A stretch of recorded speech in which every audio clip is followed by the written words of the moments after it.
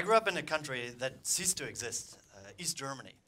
When I was nine years old, the wall came down, and we didn't really know what it was like on the other side. So my mom and I decided one Sunday morning that we'd bike across the border, which was about 20 kilometers away. It's a long bike ride for a nine-year-old, but we just wanted to see what it was like, and we did.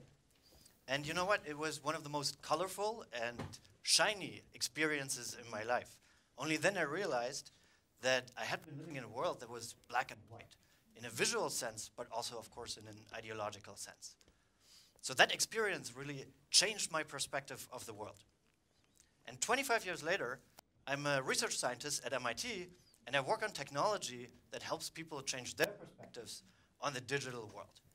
I work on display technology, and with some of my students, like Matt Hirsch here, we disassemble existing devices like monitors, televisions, and we repurpose the parts, the electronics, the optics, into completely new kind of devices, things you've never seen before, with the goal to create new user experiences.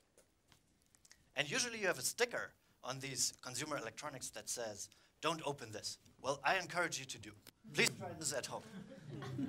we have a blog where we actually share the instructions how to disassemble these components and reassemble them in new ways. We also share apps and software. So please try this at home. A lot of people have tried this already.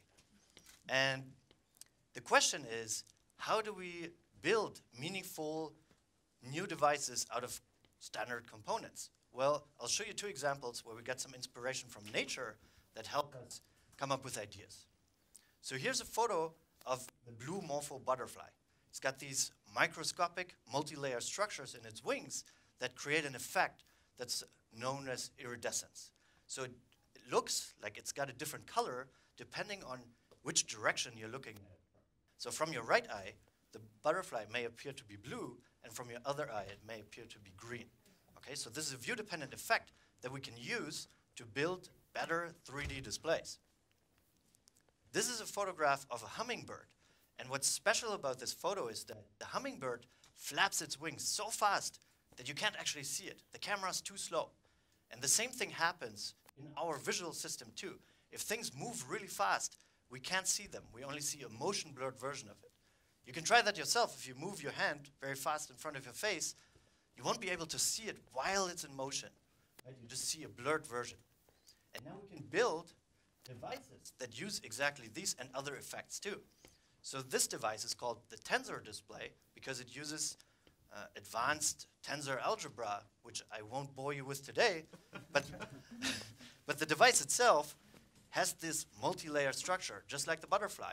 It has multiple layers of liquid crystal panels.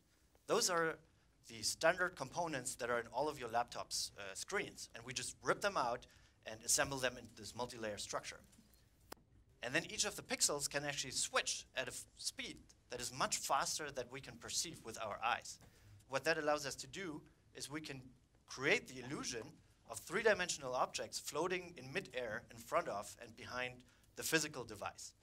But the magic is only really revealed when we use a high-speed camera to show what the pixels actually show. It's strange-looking patterns that wobble over time and that are you know, sliced up on these individual layers of LCDs. And when they're optically overlaid and perceived by a human, they all fuse together perceptually into one consistent and high-resolution view of this 3D scene. So this could really be the television of the near future, where you can either watch a 2D movie or you can watch a 3D movie and no glasses are required.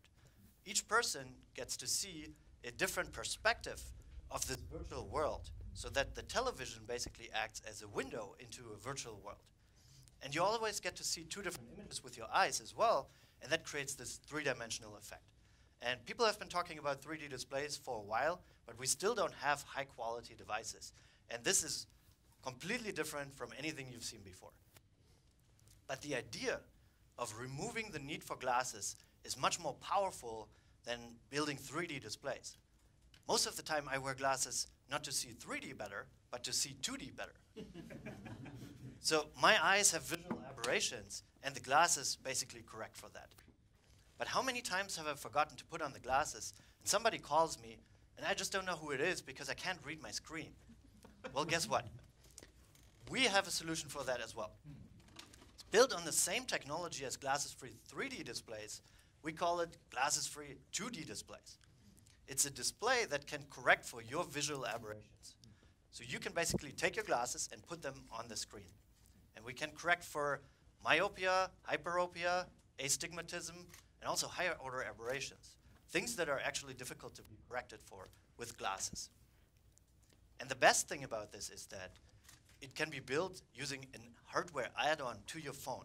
So you, it's a piece of clear plastic with a special printed transparency that you can clip on your existing phone or tablet, and you can turn that into a vision correcting display without actually having to disassemble. So we can make that for less than a dollar. And what it looks like is like this. You know, when you remove this attachment, the font, you can't actually read it because it's blurred. You can't even see the buttons. You don't know which app you're starting. But by showing a special kind of pattern and observing it through this attachment, it creates this illusion in your perception that there is a focused 2D image on that screen. And this is really only possible today because we have phones and tablets that have such a high resolution. We have phones that have 300 pixels per inch, which is as much as the retina can actually resolve at a certain distance. And we can use that resolution to either show, well, very high resolution 2D images, or to correct for our visual aberrations. So here you can see a comparison, what you would normally see on a conventional display and what you'd see on this vision correcting display.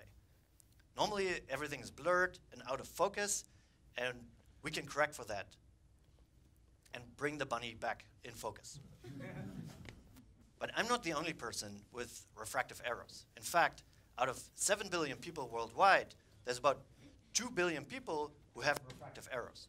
And most of us wear glasses or contacts or we get surgery to live with that. But there's about 600 million people worldwide that don't have the same access to healthcare infrastructure that we have here, mostly in developing countries. And their visual aberrations go uncorrected. If you can't see the world properly, that leads to illiteracy and in some cases also unemployment. So interestingly, today there are about 6 billion cell phone subscriptions worldwide. And by the end of this year, this number is supposed to surpass the number of people in the world. So wouldn't it be amazing if we could use all these cell phones to help people to see better? Because then we could make an impact on their lives and on ours as well. So I work on technology that helps shaping people's perspective of the world. Thanks a lot.